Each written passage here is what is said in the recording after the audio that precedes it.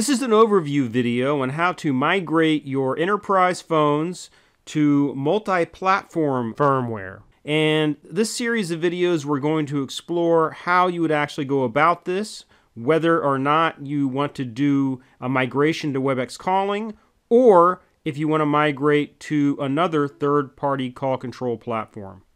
So the first thing you want to do is go to upgrade.cisco.com. And here there are basically two main areas. The first is to migrate from enterprise to MPP using WebEx calling.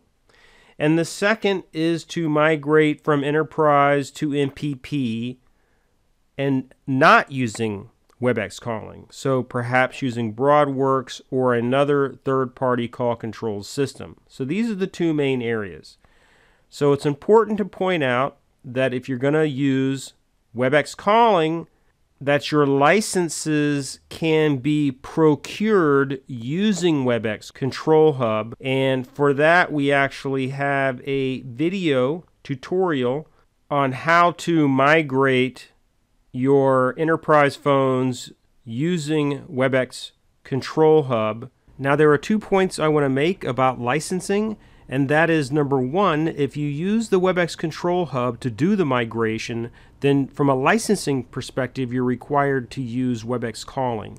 And number two, if you move off of WebEx calling to another third party call control platform, then the Control Hub license will effectively expire and you will need to use a new license that you must procure for those phones.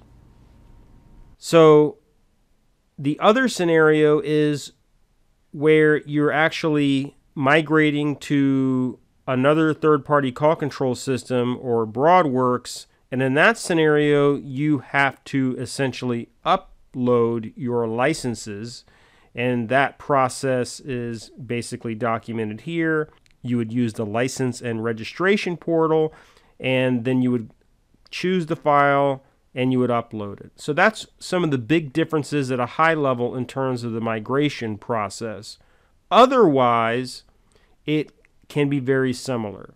You can basically, in this example, you would determine your hardware licenses. You would make sure that there's no firewall blocking uh, the phone from reaching the cloud, and then the migration method. And there are three migration methods the first two are bulk methods, which is using UC Manager or a DHCP server. And the last one is a manual migration, which is actually the easiest. You basically just change the TFTP address on the phone, point it to this cloud upgrader system, and it will go ahead and migrate it. So the alternate TFTP method is the easiest, but it is not bulk and therefore it does not scale as well.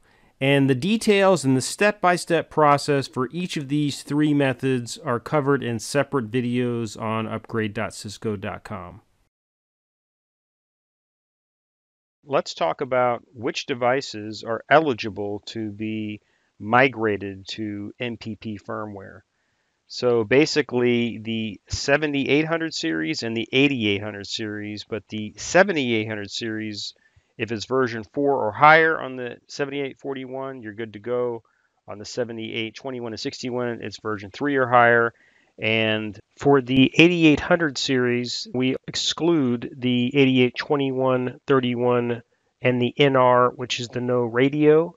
And the key expansion modules require no migration. Thank you.